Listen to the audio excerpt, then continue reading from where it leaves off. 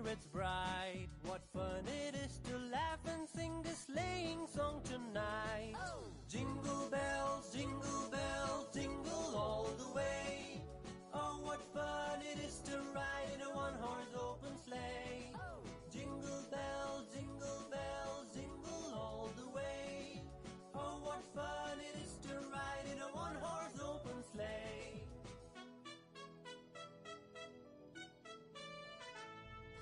day or two ago, I thought I'd take a ride, and soon Miss Fanny Bright was seated by my side. The horse was lean and. His ഇന്ന് ഞാൻ വന്നിട്ടുള്ളത് ഒരു Christmas special cake ഡെക്കറേഷനുമായിട്ടാണ് vanilla കേക്കിന്റെ റെസിപ്പിയാണ് ഞാനിവിടെ കാണിക്കുന്നത് അഥവാ ഞാൻ ഈ ഡെക്കറേഷന് വേണ്ടി വാനില കേക്കാണ് യൂസ് ചെയ്യുന്നത് അപ്പോൾ നമുക്ക് കേക്ക് റെഡിയാക്കാം ഒരു ക്രിസ്മസ് ട്രീ ഡെക്കറേഷനാണ് ഞാൻ ചെയ്യാൻ ഉദ്ദേശിക്കുന്നത് അതിനായി ഹാഫ് കെ ജിയുടെ മൂന്ന് കേക്ക് റെഡിയാക്കി എടുക്കേണ്ടതുണ്ട് ഇതിന് വേണ്ട ഒരു കേക്ക് എങ്ങനെ പെർഫെക്റ്റായി ബേക്കറിയിൽ കിട്ടുന്ന സെയിം വാനില കേക്കിന്റെ ടേസ്റ്റിൽ തയ്യാറാക്കിയെടുക്കാമെന്നത് ഞാൻ കാണിക്കാം.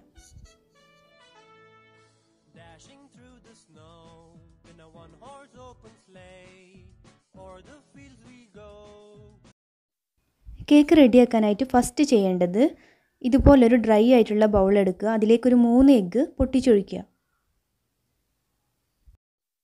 ഞാനിവിടെ കാണിക്കുന്നത് ഹാഫ് കെ ജിയുടെ കേക്ക് മെഷർമെന്റ് ആണ്.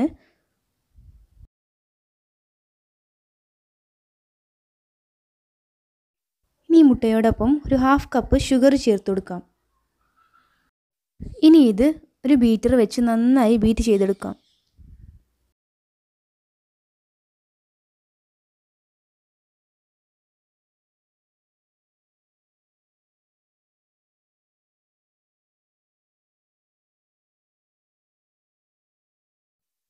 ഈ സമയം ഇതിലേക്ക് ഒരു ടീസ്പൂൺ വാനില എസെൻസ് ചേർത്ത് വീണ്ടും ബീറ്റ് ചെയ്യാം.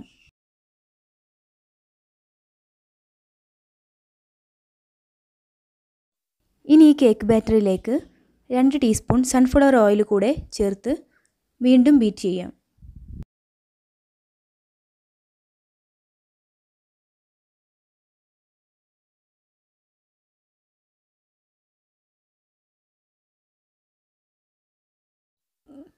ഏകദേശം കേക്ക് ബാറ്റർ ഇവിടെ റെഡി ആയിട്ടുണ്ട്. ഇതുപോലൊരു പരുവമായാൽ നമുക്ക് ബീറ്റർ ഓഫ് ചെയ്യാം. ഇനി ഇതിലേക്ക് വേണ്ട ഡ്രൈ ഇൻഗ്രീഡിയൻസ് റെഡിയാക്കാം. ഡ്രൈ ഇൻഗ്രീഡിയൻസ് എല്ലാം രണ്ട് മൂന്ന് തവണയായി അരിച്ചെടുക്കേണ്ടതുണ്ട്. അരിച്ചെടുക്കുന്ന പക്ഷം കേക്ക് നല്ല സോഫ്റ്റായി ലഭിക്കും. അതിനായി ഒരു അരിപ്പയിലോട്ട് ഞാൻ മുക്കാൽ കപ്പ് മൈദ ചേർത്ത് കൊടുക്കുന്നുണ്ട്. ഇനി മൈദയിലോട്ട് ഒരു ടീസ്പൂൺ ബേക്കിംഗ് പൗഡർ കൂടെ ചേർത്ത് ഒരു സ്പൂൺ വെച്ച് നന്നായി മിക്സ് ചെയ്തെടുക്കാം.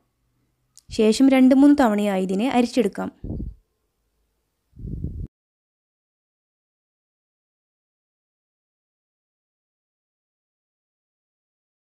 ഇനി നമ്മൾ അരിച്ചെടുത്ത ഡ്രൈ ഇൻഗ്രീഡിയൻസ് ഒരു അരിപ്പ വഴി തന്നെ ഒന്ന് രണ്ട് തവണയായി എഗ് ബാറ്ററിയിലേക്ക് ചേർത്ത് മെല്ലെ ഫോൾഡ് ചെയ്തെടുക്കാം.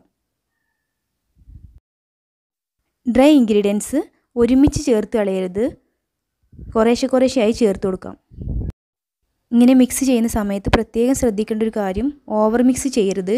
കേക്ക് പൊങ്ങാതിരിക്കാൻ അത് കാരണമാവും. ഇതുപോലെ നല്ല രീതിയിൽ കട്ടയില്ലാതെ തന്നെ മിക്സ് ചെയ്തെടുക്കുക.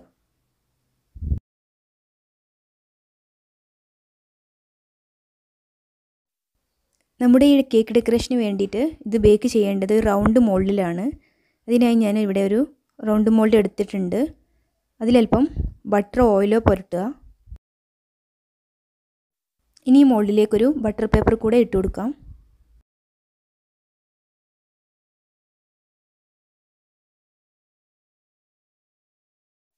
ഇനി നമ്മൾ റെഡിയാക്കി വെച്ച കേക്ക് ബാറ്റർ മോൾഡിലേക്ക് മാറ്റാം. ഇനി കേക്ക് നന്നായി ബേക്ക് ചെയ്തെടുക്കുകയാണ് വേണ്ടത്. അത് സ്റ്റൗവിൽ വെച്ചാണ് ഞാൻ ചെയ്യുന്നത്. ഓവണിലല്ല. അതിന് വേണ്ടി ഒരു വലിയ പാത്രം തന്നെ എടുക്കുക. അതിന് സാധാരണ കറിയുപ്പ് നിരത്തിയിട്ട് നന്നായി ഒന്ന് ചൂടാക്കിയ ശേഷം നമ്മൾ റെഡിയാക്കിയ കേക്ക് ബാറ്റർ അതിലേക്ക് ഇറക്കി വെക്കുക. ഇനി ഇതിനെ ലോ ഫ്ലെയിമിലിട്ട് ഒരു ഇരുപത് ഇരുപത്തഞ്ച് മിനിറ്റ് ബേക്ക് ചെയ്തെടുക്കാം. ഇപ്പോൾ ഒരു ഇരുപത്തഞ്ച് മിനിറ്റ് ആയിട്ടുണ്ട്. നമുക്ക് കേക്ക് പുറത്തേക്ക് എടുക്കാം. കേക്ക് നന്നായി തന്നെ ബേക്ക് ആയിട്ടുണ്ട്.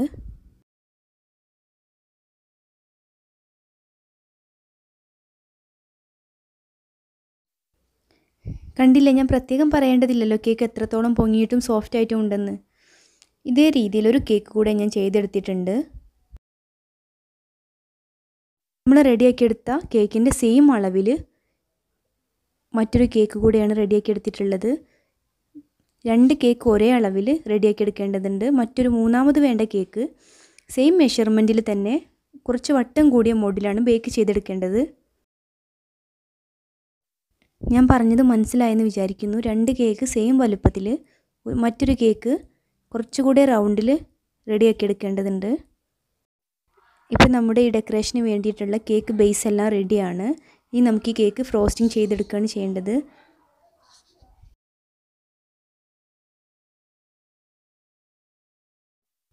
ഇനി ഇതിലേക്ക് ഒരു കപ്പ് വിവോയുടെ വിപ്പിംഗ് ക്രീം എടുത്തിട്ടുണ്ട്. ഇനി ഇതിനെ നന്നായി ഒന്ന് ബീറ്റ് ചെയ്തെടുക്കാം.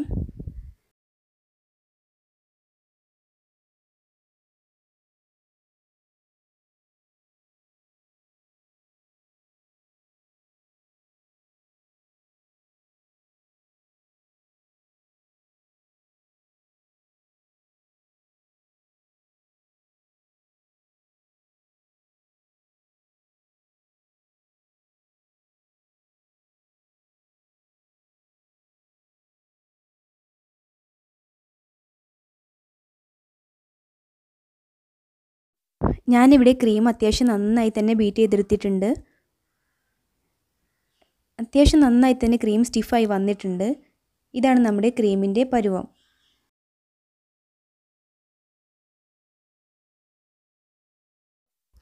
ഇനി ഈ ക്രീം ഒരു ഐസിങ് ബാഗിലേക്ക് മാറ്റാം. ഐസിങ് ബാഗിന്റെ അറ്റം ഇങ്ങനെ കട്ട് ചെയ്ത് കൊടുക്കാം.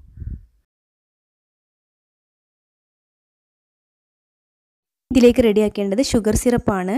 ഞാനിവിടെ റെഡിയാക്കി എടുത്തിട്ടുണ്ട്. ഒരു കപ്പ് ഷുഗർ ഹാഫ് കപ്പ് വെള്ളവും ചേർത്ത് നന്നായി ഒന്ന് മെൽറ്റ് ചെയ്തെടുക്കാം. അതിനെ നന്നായി തണുപ്പിച്ചതിന് ശേഷം ഇതുപോലുള്ള സാധാരണ ഒരു ബോട്ടിലേക്ക് നിറച്ചു കൊടുക്കാം. ഞാൻ ഇതുപോലുള്ള സാധാരണ ബോട്ടിലാണ് സ്പ്രേ ചെയ്യാനായി ഉപയോഗിക്കുന്നത്. ഇതിന്റെ അടപ്പിൽ ഇങ്ങനെ അഞ്ചാറ് ഹോൾസ് ഇട്ട് കൊടുത്താൽ മതി. കേക്ക് ഒന്ന് കട്ട് ചെയ്ത് ലെയർ ആക്കിയെടുക്കാം ഒരു കേക്ക് മൂന്നായി കട്ട് ചെയ്യാം.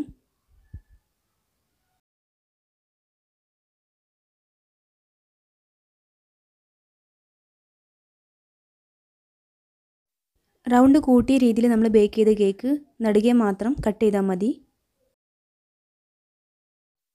എല്ലാ കേക്കും നമ്മളിപ്പോൾ കട്ട് ചെയ്തെടുത്തിട്ടുണ്ട്. ഇനി നമുക്ക് സ്റ്റാർട്ട് ചെയ്യാം. അതിനായിട്ടൊരു ടേൺ ടേബിൾ വെച്ച് അതിലൊരു വൺ ആൻഡ് ഹാഫ് കെ ജിയുടെ കേക്ക് ബേസ് വെച്ചിട്ടുണ്ട്. അതിലല്പം വിപ്പിംഗ് ക്രീം ആക്കി കൊടുക്കാം. കേക്ക് സ്ലിപ്പ് ആവാതിരിക്കാനാണ്. ഇനി ഒരു കേക്ക് ലെയർ വെച്ച് കൊടുക്കാം. ഇതിൽ ഷുഗർ സിറപ്പ് സ്പ്രേ ചെയ്തതിന് ശേഷം ക്രീം അപ്ലൈ ചെയ്യാം.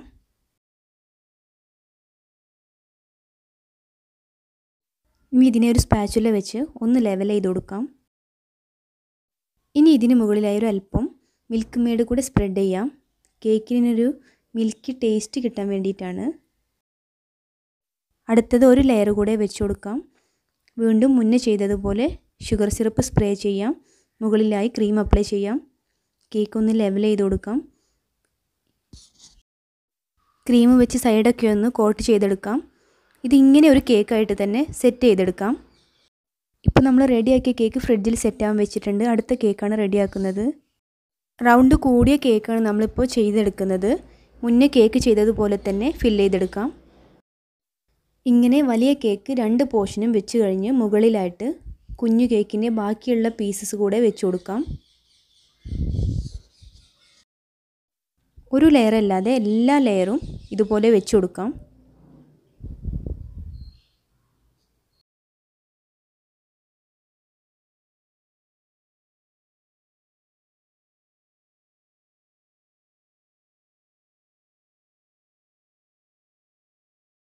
ഇനി ലാസ്റ്റ് വരുന്ന ഈ ഒരു ലെയറിനെ ഞാൻ ചെയ്യുന്നത് പോലെ ഒരു കുഞ്ഞു കേക്കാക്കി കട്ട് ചെയ്യുക.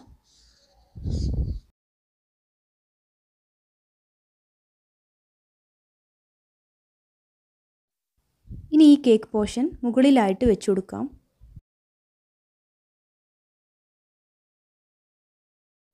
വീണ്ടും ക്രീം അപ്ലൈ ചെയ്ത് ആ കട്ട് ചെയ്ത പോർഷൻ കൂടെ മുകളിൽ വെച്ച് കൊടുത്ത് ക്രീം വെച്ച് കവർ ചെയ്തെടുക്കാം.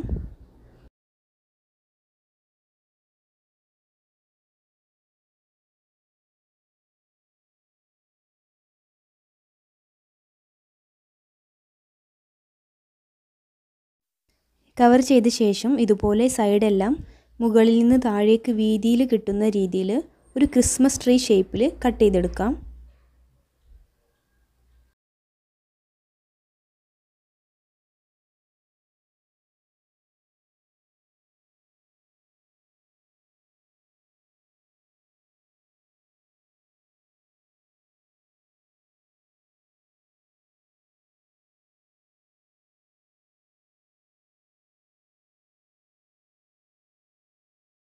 ഇനി ഈ കേക്കിലേക്ക് വേണ്ടി ചോക്ലേറ്റ് ഫ്രോസ്റ്റിംഗ് തയ്യാറാക്കേണ്ടതുണ്ട്. അതിനായിട്ട് ഞാൻ കാൽ കപ്പ് വിപ്പിംഗ് ക്രീം ചെറുതായി ചൂടാക്കി എടുത്തിട്ടുണ്ട് അതിലേക്ക് ഒരു അര കപ്പ് ചോക്ലേറ്റ് ചേർത്തൊന്ന് മെൽറ്റാക്കിയ ശേഷം ഒന്ന് തണുപ്പിച്ചെടുക്കാം.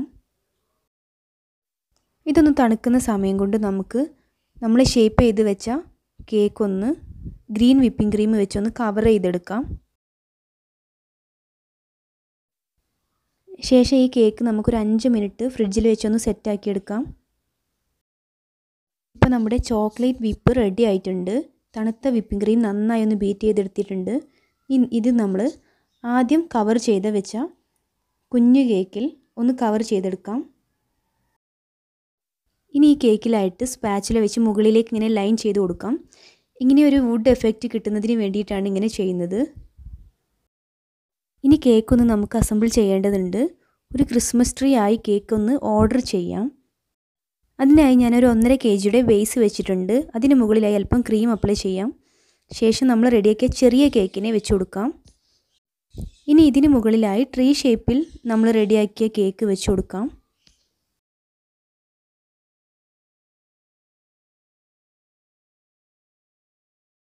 ഇനി ഈ കേക്കിന്റെ ഗ്രീൻ പോർഷനിൽ ഇതുപോലൊരു സൺഫ്ലവർ നോസിൽ ഉപയോഗിച്ച് ഗ്രീൻ വിപ്പിംഗ് ക്രീം ഫില്ല് ചെയ്തതിന് ശേഷം ഇതിന് ചുറ്റും ഇതുപോലെ ലീഫ് വരച്ചു കൊടുക്കാം.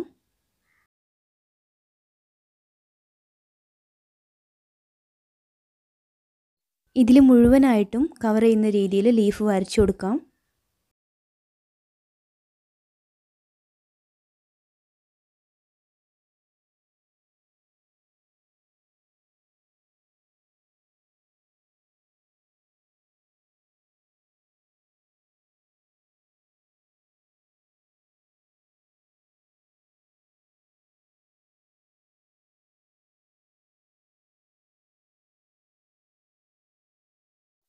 ഇപ്പോൾ ഏതാണ്ട് നമ്മുടെ കേക്ക് ഫിനിഷ് ആയിട്ടുണ്ട്. ഇനി ഞാൻ ഈ ട്രീയിൽ പലയിടങ്ങളിലായിട്ട് ഗോൾഡ് ഡസ്റ്റ് സ്പ്രേ ചെയ്യുന്നുണ്ട്. ഇനി ഇതിന് മുകളിൽ കുറച്ച് ഗോൾഡ് ഷുഗർ ബോൾസ് കൂടെ ഇട്ട് കൊടുക്കാം.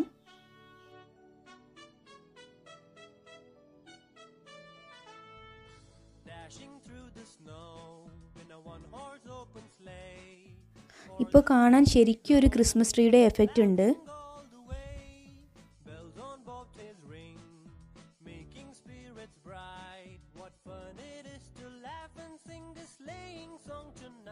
ഇനി ഈ ക്രിസ്മസ് ട്രീയിൽ ഒരു സ്റ്റാറിന്റെ കൂടെ കുറവുണ്ട്. നമുക്കൊരു സ്റ്റാർ കൂടെ വെച്ചു കൊടുക്കാം.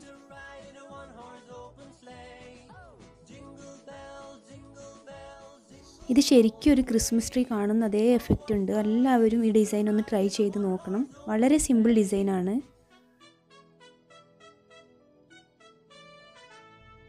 day or two ago I thought I'd take a ride. And soon Miss Fanny Bright Was seated by my side. The horse was lean and lank. Misfortune seemed his lot. We got into a drifted bank And then we got upsought oh. Jingle bells, jingle bells Jingle all the way.